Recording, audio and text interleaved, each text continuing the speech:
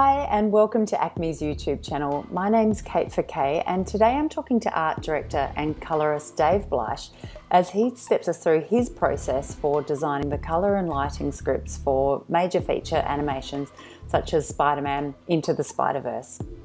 Hi, Dave, and welcome back. It's so great to speak to you again today. How's it going? It's going good. Um, thanks, thanks, for so bringing much. me back on. oh, well, thank you for talking us through your career pathway last time, and we're really looking forward to having you take us through some of your um, project work as a color and lighting sure. director. So I'll just hand thank over you. to you and let you take over. I'll start with Spider-Man. Now, Spider-Man into the Spider-Verse. What we have here is this is a chart I make for a film. I do this on every film I work on. Wow. Um, I've got this idea from a book I was reading uh, from Bruce Block. What I do when I read a script is that as I'm reading key moments or like a sequence breakdown they have, I will just jot down certain numbers for myself. Like, and those numbers are equivalent to is it really bright? Is it really dark? Is it really saturated, desaturated, warm, cool, and contrast level? And what I'm doing is that I'm charting the film as we go, and then I can just kind of come in here and it's like, this is how we're starting out. This is the overall trajectory of the movie and its palette. This is really rough. This is a sketch. Uh-huh. It's not a final rendering. It's just to show that a that your film isn't just all up here or it's flatlined. Mm. Because if your film is all like in one section, you know, if it like if it's just kind of crunched, then it's not going to be a very inspiring movie to watch. Right. So you have to give the audience a reason uh, to go somewhere with them. You want them to follow you. So I make these is a sketch of notes, and I go from there. From this point, I'm going to just pull this over here. I'm going to grab. I start. What I do is these mood boards color boards and mood boards that we talked about earlier. Mm-hmm. So the the mood board, um, this is a section in Spider-Man. One of the first, uh, one of the first, actually probably the first mood board I did. This is a moment where Miles Morales goes up to, into the graveyard, and he's going. Hopefully, I'm not going to do any spoilers here. So uh, spoiler alert if you haven't seen the movie i'm going to tell you something right now. Um, okay they had enough time to turn it off. Um, what happens is, is that miles is going into the graveyard to see peter parker who passed away. This is the, f- the first peter parker not peter parker number two peter b. Parker. Um, just so people understand um, so what I've done is that I, I looked at the part of the script and I started to break it down. Like, what's this moment all about? You know, um, well, this is Miles feeling sorry and trying to find, you know, Peter's died. He blames himself and how he's going to, you know, redeem and hold and hold on to his promise for what he what he said is going to stop the collider. You know, but this is sort of like a foreshadowing. I wanted the church grounds to have this Spider-Man red in the snow. This is so I, uh-huh. I found some images that I really liked. I wanted the environment to represent the Spider-Man colors, um, the Peter Parker Spider-Man colors. Miles will eventually find his. I'm going to jump back on that I, that thought in a minute. So what I'm laying down here is like these are images that I found um, from films, abstract, you know, things I found online. And I color correct them. And I try to find a palette that works. So this is like from Social Network, you know. Uh-huh. I'm thinking of this as possibly Miles talking over the gravestone, you know, this type right. of lighting and this type of color. I'm thinking of this as an overall palette, maybe for the environment. You know, right. I love like these peach colors and these reds here and these little accents of blues. So I'm seeing Spider Man colors in this world. I'm thinking of how he's walking in there. I love how these red lights and these shadows come in. Maybe this is when he talks to Peter. You know, he has uh, like he's full of red. You know, and the, in the ground, the background's kind of blue. Excuse me. And then like when we see Peter Parker, and then like some ideas here and there, and this is uh-huh. actually from the film itself, the church, some of the design. So what I'm doing at this moment is I'm kind of laying in uh, tent poles or pins You know, I'm making rules. Um, I'm saying that this particular moment, the color for this is going to be like this area right here. Like this this red's going to be here. I will make these similar things for the characters and and you know throughout the film. So it helps me kind of. I got to have a place to start. So in the film, you notice that Miles Brooklyn is very warm. We made that point because warm is Brooklyn. That's home. That's that's family. That's safe. He that's what he knows. The school is very you know um, you know has a lot of more modernism to it, colors and architecture. So that's going to be off for him. So it's going to feel very foreign. So Miles has to feel foreign. So those that, those colors are going to be brighter. The lighting is going to be sharper. New York City is going to be have more of like more blacks, uh, more blues in it, and, and, you know sharper shadows and a lot of floor and a lot of car lights and fluorescent lighting from the sides. Doc Ock, we're going more into the greens and blacks. Obviously, Kingpin is, we wanted to go with this black hole uh, effect with him. So his jacket always feels flat and black. So now you start making these notes and these pins down, you start dropping down. Prowler is purple, you know, Aunt May's house is very low contrast you know, because it mm-hmm. represents who she is. And now you kind of laid this down. So you start making these boards like, okay, well, Miles is this. If we're going to be home, it's going to be this color. If it's going to be, in in Doc Ock's world, we know it's going to have this type of thing. That's going to help you later on because stories are going to change and you're going to have to adjust and pivot to what's the next thing. Okay, well, I have to adjust this painting of this lighting scene. Just because I'm doing this, it feels great, it looks great on paper, doesn't always mean it's going to work. It generally usually works because we lay everything up. There's always some time like we all feel it works it's going to look great and then all of a sudden we get there and it's like we start lighting the scenes and we're like eh, i don't think this is going to work but we we pivot you know maybe change the lighting here or change the colors here but we don't have to go that far because we've already made certain decisions and we're not painting ourselves into a corner we just know that we can shift a little uh, to accommodate the story.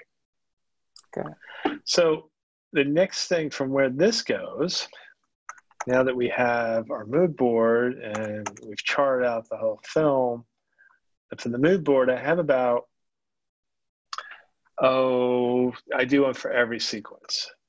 So the next one we go to, I'm going to show you an example of this is, we'll go from the storyboard and I'll show you. This was an early storyboard slash layout. This is Miles right here, kind of walking you know, as we cut to the scene. And I just kind of look at this and I talk to the directors based off, all right, all these colors that we've talked about right here, you know, we start implementing this this type of palette into here. We haven't made the we haven't made the decision yet to figure out well what's going to be what. We did talk about how we wanted the illuminated snow to feel red. We'd like these purples. Maybe we knew the church is right here. So we're trying to figure out how do we make um, choices.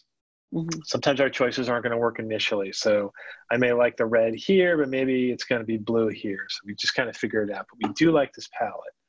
So the next step in this is where the color key actually ended up, the lighting. This is the color script key for this. So I want to make sure Miles reads here. And again, we're talking really rough paint, mm-hmm. but I'm making sure his local color pops out. I wanted to give a lot of this warmth, but have it roll off to the outside. And if you look, and we'll go back in a second, we'll look at those reference images, but I really wanted to have this sense of this stained glass, this warm stained glass being projected onto the snow. And the snow actually has that Spider-Man red to it. I mean, now I have all these purples, and blacks in here. Mm-hmm. So when I go back to here, you're now starting to see this relationship where you know these colors are tend to now infiltrate and come into this world. This is what we're thinking. This is how okay, this is what I'm thinking when I'm working here. This is how I work. This isn't this isn't how everybody works. You find the way you want to work. It works best for you. I'm not telling you to do it this way. This is what works for me. Um, I find this process to be very have uh, to work really well when it comes to working with directors, uh, the production designer and the art director. It's very collaborative. I also tend to go at this stage of the game, we're in this stage, I find this to be the real part of the, the meat of everything, the color script. Because at this stage of the game, we're showing these images, I'm pushing, pulling a lot of different things, and we're having these discussions. They might ask me, can you get another image of what it would look like possible lighting idea? Well, here's a possible lighting idea. So is this, and so is this. Um, and that's, so when it gets to this stage right here, now we're just applying and it's the labor part. It's still a lot of fun. The process is there. I'm, I'm deciding, okay, like these colors here, and I'm picking this, and I'm trying to find a relationship of this stained glass color onto the snow and I'm making it warm. He's obviously trying not, he's not walking in a lot of the warmth, you know, he's still in his feeling, he feels sad uh, about what happened with Peter, He feels responsible. So that all works. That's all working great. But what happens is, is sometimes in the film, camera changes, the color changes, things happen, as I was saying. So in the final frame of the film, what you see here, here's Miles walking. The camera, the location flipped, but the essence of everything is still there. You know, we moved the lighting over to here, make this warm and kind of cool this all off. So to make him feel a little more of a lonely and then have to go and travel into this world and where Peter's grave is. So it happens all the time. mm-hmm. But to think of the process as we as we started from here, oops, from this to here. Actually, mm-hmm. I should even go back to the to the, the mood board to here and then to this, and then it ended up being here. It all still has a trajectory. It all still follows. Mm. Let me show you a couple of others. Um, this one, same thing. Go full screen. This was a layout storyboard image. This is Miles. This is when Peter Parker jumps down, Peter B. Parker. And so this is the color script key for it.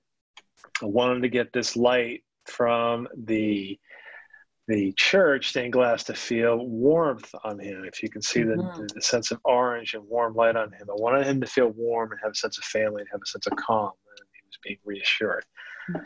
Um, he's still in this world here and, and the, the, the colors that we choose. And then this, again, camera pivoted and changed, but this was, again, that kind of idea to have that kind of warm rim light behind him. This particular frame doesn't have all that, but that was still the, the essence mm-hmm. of what we wanted to achieve there.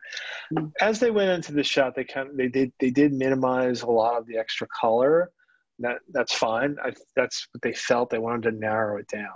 That happens, but you do clearly see this, the, the, the Spider-Man red and blue here and how it's influencing Miles.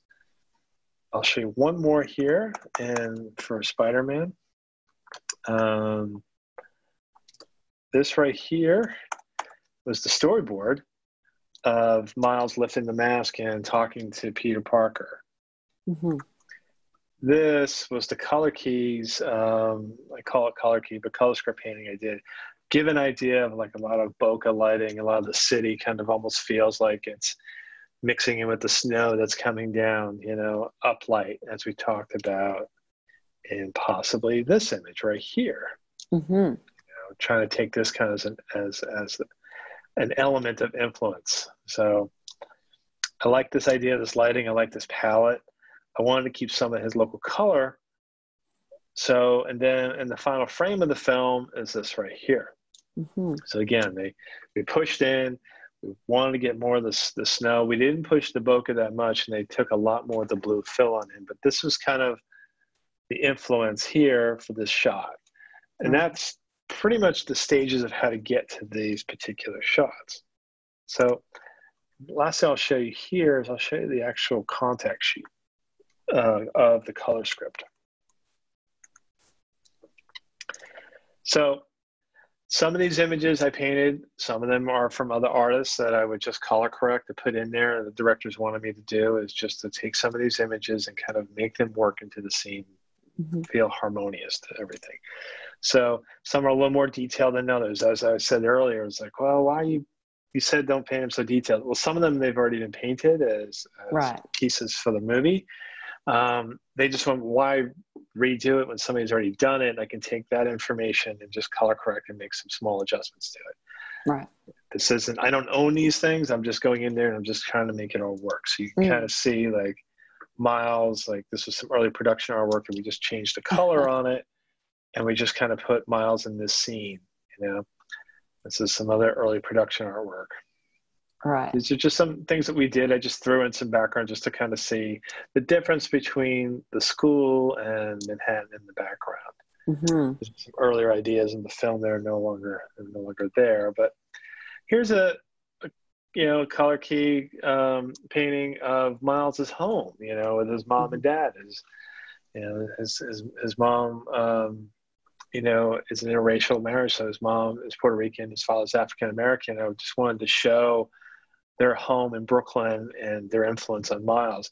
Always targeting the red sweatshirt. You know, that's Miles's color, the right. red and the blue. You know, the Air Jordans and stuff. I always wanted to make sure that that was working. This is this uh, was a battle with the Green Goblin and Spider Man. This is Miles down here, uh-huh. you know, and then this is one of the first Collider pieces, and this was originally laid out by Patrick O'Keefe, the the, the art director in Environments. Uh, he's an incredible artist, and mm. I would just take what he did, and I'm just changing a few things of color and what I'm trying to do is get an idea of what this collider ray is going to look like, you know. Right. So again, working as a team, working together, and sharing all this information, uh, just trying to make it better. Because then this is going to be handed off to another group of artists who are going to take it. It just keeps getting moved forward. As we say, was it the can, the can, the can gets kicked down the road. Just keep going, going, going. I just wanted to show you just a couple of more pieces. It's just like, you know, just kind of showing you Peter Parker's um, uh, what do you call it? His uh, his hideout. You know, mm-hmm. here's Peter, B. Parker, and Miles. Like, tell him he's got to do this job. You know, so there's a lot of different things. This is just showing Miles. This was a you can kind of see here. This was Miles' um, dorm room. Mm-hmm. I did a mm-hmm. series of these just to change the feeling and the temperature of the dorm room that would match what Miles was feeling at the time. This is obviously when he becomes Spider-Man. This was a Spider-Man part when he just takes the the ownership of who he is. You know, you can mm-hmm. see how really rough this is. You know, really wanted to have the feeling of Miles walking into this blue with the red accents. You know, the mm-hmm. lights. This, that's his Spider-Man red color. Right. Um, yeah. So this is the color script. And then there were once I handed this off, there were others that were put in and and uh, taken out. They wanted more frames. I went on to another assignment, so they kind of like, oh, we should put this one in here and in here. But I do want to just one last thing I want to show you. Mm. So this is the uh, spoiler. This is the death of the Prowler, you know. So we really wanted the lighting to feel very angelic at the same time. Mm-hmm. So this is the moment when Miles, you know, how we wanted this lighting to feel, and this is his dad in the background. So we just kind of wanted to haze it up, it's dark, but it's still kind of more angelic with him and his uncle to show him that feeling, you know, where we're going, how you can find the emotion in a scene. Um, let me see if I can find one more for the emotion in, this, in the scene here real fast. Um, show you here's where he goes with his uncle in the train station. Again, oh, iconic iconic red, and this was a painting. I think it was done by a couple people. I think Zac Zac Retz did some of the, a lot of the painting on this and the layout. I forget from him. Could be Zac. I took that information and then applied our characters' uh, uh, costume that we that we kind of redesigned a little bit to fit into this world, and just wanted to show here like this is where Miles does like his spray painting. Mm-hmm. And I wanted to kind of take those colors from from the mural, the spray painting mural, and scatter them throughout the environment here. Mm-hmm. So you know you have some of these greens and these yellows and these purples, just to kind of show like what's going to happen at this moment. Right. So those are the theories like you, know, you start thinking about in your head. This is you know his uncle's little pad, his little bachelor pad, just keeping it really simple between mm. these two. Spider Gwen she has her own comic book, uh, her own. I think it was designed by Jason Latour. Um, I could be wrong, but I'm pretty sure that's who did it. Um, and that has its own unique style. So we had to make sure that Spider Gwen had her world was represented. Right. Spider Noir, which um, which is voiced by Nick Cage. So hence is very just you know black and white. If We had to so we had to create these worlds, you know, or represent them, and then you'll will see in the film there are these moments when um, you know where they come from. That's like I think it's like as they tell the story when they come they get sucked up you know they all kind of see a little piece of where they came from in their environment spider ham you know same thing was obviously warner brothers you know old classic 2d animation so uh, that stuff is, is that that is all represented in the film as we go. At this stage when i was working on it that wasn't there just yet. So as i say it's like we're doing this. This is just the initial foundation. We're going to start adding things and taking things away and you know we're going to start maybe you might want to see what it looks like in, in spider gwen's world or spider ham's world. So we might need a painting for that.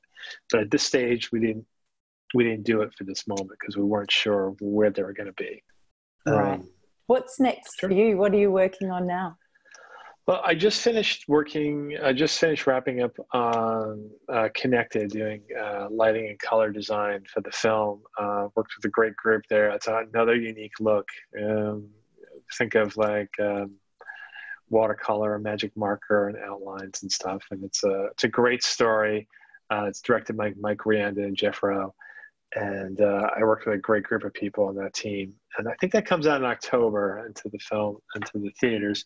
Um, I can't just trying to. I just finished. I'm getting some downtime, and then I start up on the sequel of Spider-Man: Spider-Verse Two uh, at the end of the month.